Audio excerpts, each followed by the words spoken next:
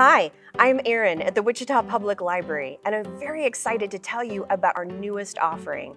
Starting this summer, you're going to be able to come to the library and check out STEAM kits.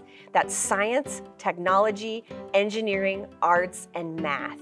This kit that I have here today is the Machines and Contraptions kit. And you can see we have two activities and a book that ties in with the activities. The informational text that's included with every kit offers an opportunity for them to connect what they're reading to what they're doing. This one's about Leonardo da Vinci. The simple machine set will help you explore effort, force, load, motion, and distance, all foundational aspects of physics. In the KEVA contraption set, you'll create ramps, funnels, chutes, and crazy contraptions like the black hole and the bounce plate.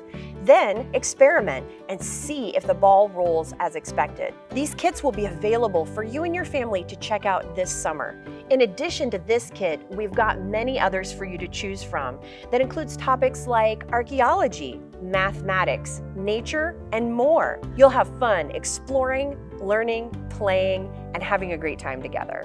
These kits are brought to us by the generosity of the Wichita Public Library Foundation and donor Georgia Akins. Thank you so much. Visit wichitalibrary.org for more information. STEAM to Go kits available at your Wichita Public Library.